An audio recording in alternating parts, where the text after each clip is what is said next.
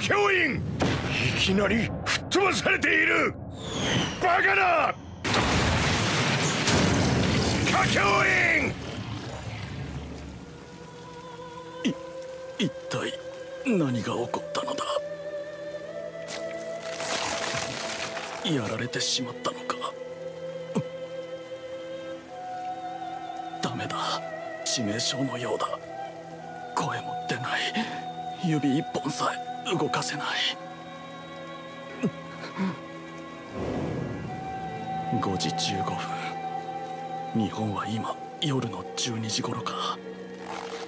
父さんと母さんは何をしているのだろう。もう眠っているのだろうか。心配かけてすみません。歌教員則明が最後に思うこと。それは日本にいる両親のことではなかった。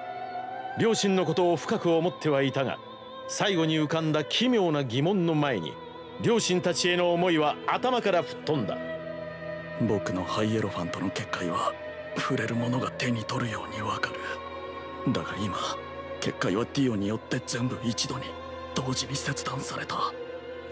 なぜ一本一本ではなく少しの時間差もなく1万分の1秒の差もなく。半径20メートルの結界は同時に切断されたのか。なぜ？少しの時間差もなく。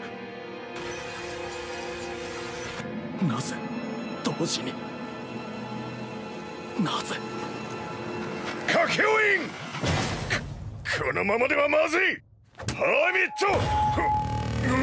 ト！ジョセフ次はお前だこのジョナサンの肉体が完璧に馴染むにはやはりジョースターの血が一番しっくりいくと思わんか。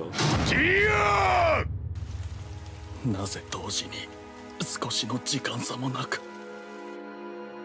時間差。時間。時間。時。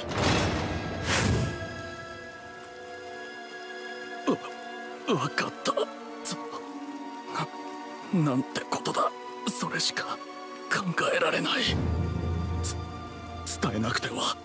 このことをこの恐ろしい事実を何とかして。何とかしてジョースターさんに伝えなくては。このままだとみんなが負けてしまう。よくも歌教員をその体。エリナおばあちゃんのためにも返してもらうぞ。エリナ？あああの田舎娘のことか。くだらん。お前は血を吸って殺すと予告しよう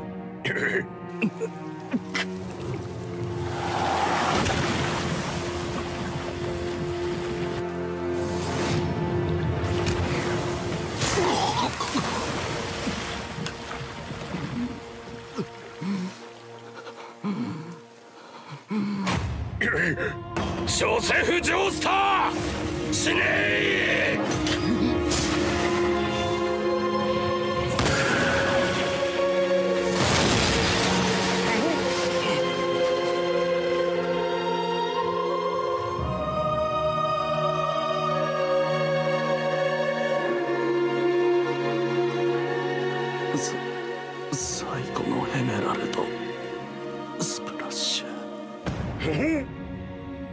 なんだあらぬ方向を打ち寄って断末魔最後の雄たけびを上げ華々しく散ろうということか。バカな。歌教員はこんな時に意味のないことをする男ではない。なぜあんな方向へ？何か意味があるのか。何か伝えたいことがあるのか。聖地です。これが精一杯です。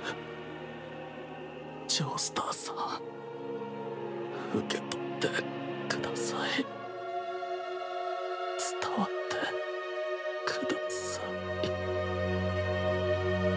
歌教